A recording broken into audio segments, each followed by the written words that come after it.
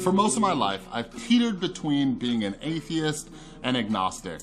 Like many other skeptics, I fancy myself a rational person who believes in science. But eight years ago when I got sober, I was basically given an ultimatum. Either believe in a higher power or die from your addiction. As a rational atheist, I put the pieces together and just realized that I had to understand that believing in something other than myself was one of the keys to sobriety. So I saw 12 step meetings, my support group, and my sponsor as what some would call a higher power. My beautiful girlfriend Tristan is also an atheist, and we have some interesting conversations. Although atheists, we're firm believers that if people are religious and aren't hurting anyone, more power to them. Sometimes we watch atheists on YouTube and see how they depict themselves. Oftentimes, atheists talk down to believers from a pedestal of science and pure rationality. But for this video on supernatural psychology, we're going to ask the question if atheists would sell their soul. I've been wanting to make this video for a long time because through my own research, I found that many atheists won't sell their soul and it seems quite irrational. In episode 74 of the Freakonomics podcast, Stephen Dubner discussed a comment from Skeptic Magazine, which read, What is it about the idea of a soul that even people who confess to not have one are hesitant to sell it? I have been trying for the better part of 10 years to buy a soul. I've offered a dollar amount between $10 and $50 for someone to sign a sheet of paper that says that I own their soul. Despite multiple debates with confessed atheists, no one has signed the contract. I've been able to buy several people's sense of humor and one guy's dignity, but no souls. Additionally, will any Freakonomics reader take me up on this? I'm willing to spend $50 on souls. So in this video, we're going to dive deep into some psychological studies, but I'm curious to hear from all of you because this is really interesting.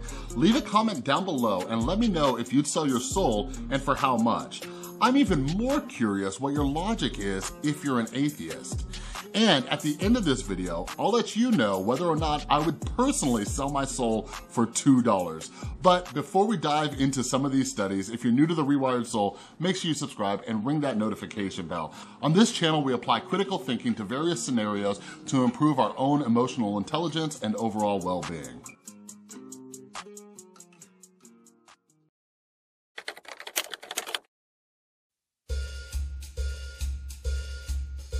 The internet is an interesting place, and it's made it so many people can buy and sell just about whatever they want.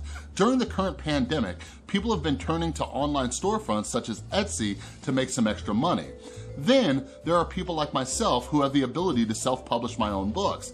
But then there are also more absurd items that people can sell online. In one season of Orange is the New Black, Piper creates a business where female inmates can sell their used underwear. And this is something that there's a real market for. And in a previous video on essentialism, we discussed how Belle Delphine was able to sell her bathwater.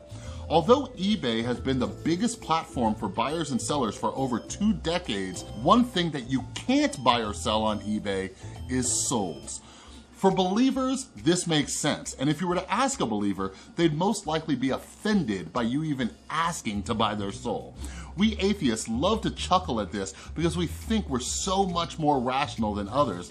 But when put to the test, we're even more ridiculous. The first study I heard about was from the moral psychologist Jonathan Haidt and his assistant Scott Murphy.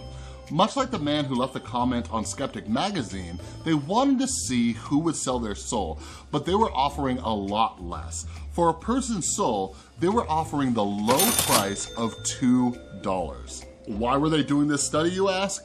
This was actually part of a psychological study on political moral foundations. And by the way, if you didn't watch my video on Shane Dawson through the lens of moral politics, make sure you watch that next.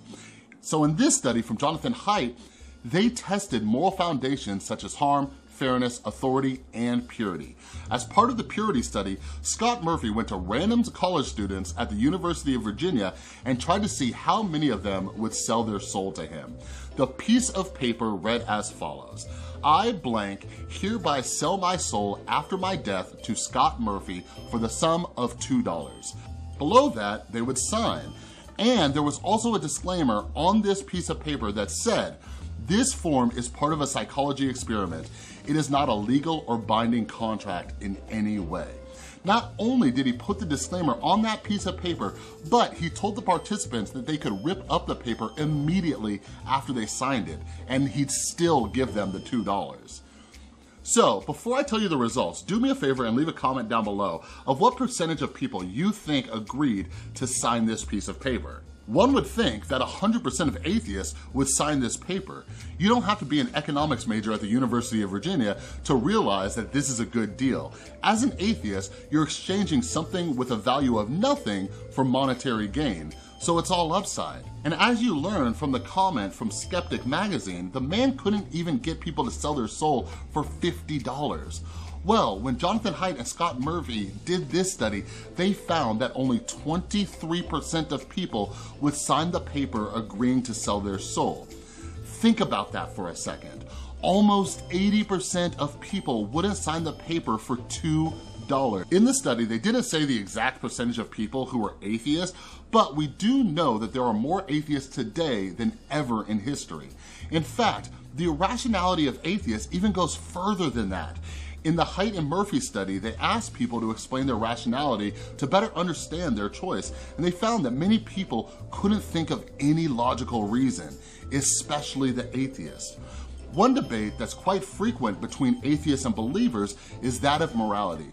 For example, believers argue that atheists don't have morals because religion is what provides moral foundations. But this isn't true at all. There are plenty of moral atheists. But what's weird is how you can make atheists even more moral by discussing aspects of religion. Dan Ariely is the best-selling author of Predictably Irrational, and he has conducted numerous studies on irrationality of human behavior. And he has conducted numerous studies on the irrationality of human behavior. In his book, The Honest Truth About Dishonesty, they took 450 participants, divided them into two groups, and they asked half of the participants to try and recall the Ten Commandments. After that, they put the participants in a scenario where they'd have the opportunity to cheat on a test or fight the temptation.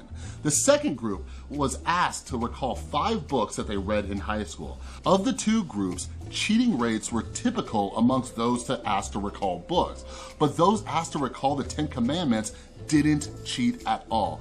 What's fascinating about this study was that most of the participants couldn't even remember all of the Ten Commandments. So just the act of trying to recall them made these people more moral. Many of the participants were also self-proclaimed atheists. So Dan Ariely and his team tried another experiment. In this one, they took the self-proclaimed atheists and asked them all to swear on a Bible that they wouldn't cheat. And although these people don't believe in God, cheating was virtually non-existent compared to the other variations of the study. Now, in this final section, we'll discuss what this all means and whether or not I'd personally sell my soul for $2.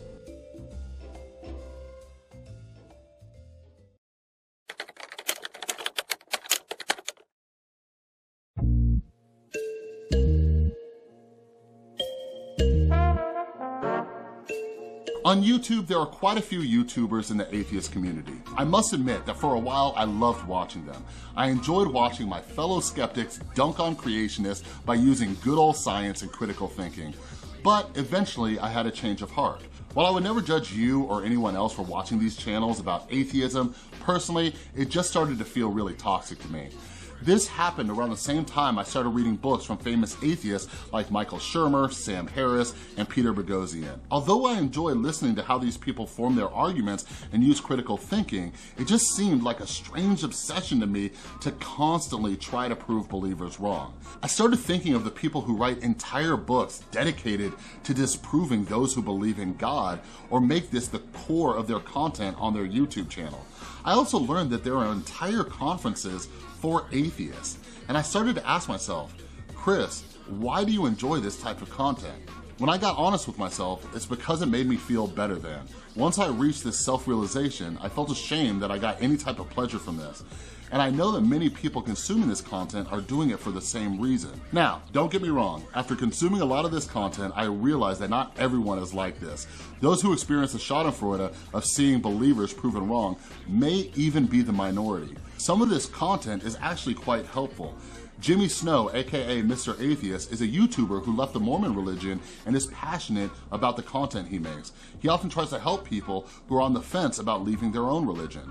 There are also creators like Rachel Oates who have made videos on toxic parenting books from religious people or about Girl Defined and their anti-LGBTQ videos. So yes, there's quite a bit of atheist content out there that is trying to help people or defend certain populations.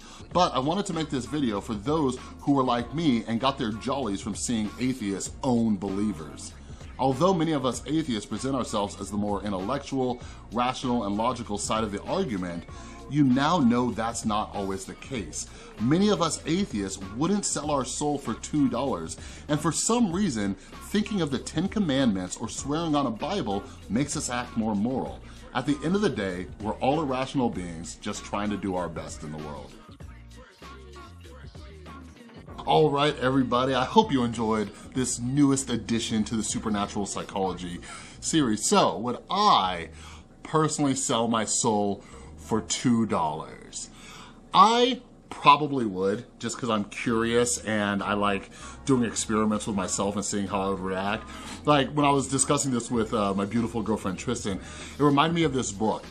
Amazing book. And by the way, again, I link all the books that I talk about down in the description below. Get them, they're affiliate links. So when you use my link, a little bit comes back and supports the channel. But anyways, this book was called Suggestible You. And it was like this uh, previously super religious guy and now he's an atheist, but he wanted to learn more about like the power of the unconscious mind and the placebo effect. But anyways, in that book, he paid uh, a witch doctor to put a curse on him, right? And he's like, here, just do it, and in seven days you can take it off. And the witch doctor's like, oh my God, I don't even know if I want to do this, right? But anyways, after that, like his wife um, she was pregnant with uh, one of their children and like she had these stomach pains and she had to go to the hospital and his mind immediately thought about that curse. He's like, oh, I'm so stupid. I can't believe I did that, da da da da da, right?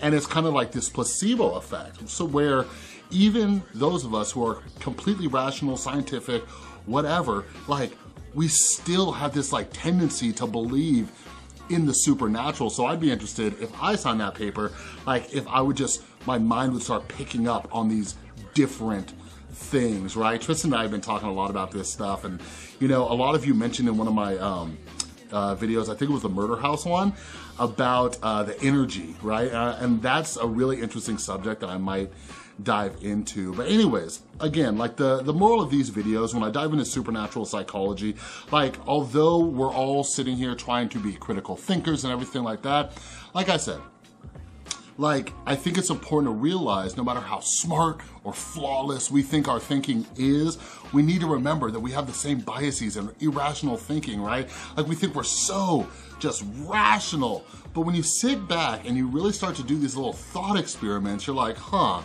I would do some pretty weird stuff. And uh, I can't wait to check out the comments down below and see how many of you said that you would or wouldn't sell your soul and why or why not. It's really interesting. Interesting.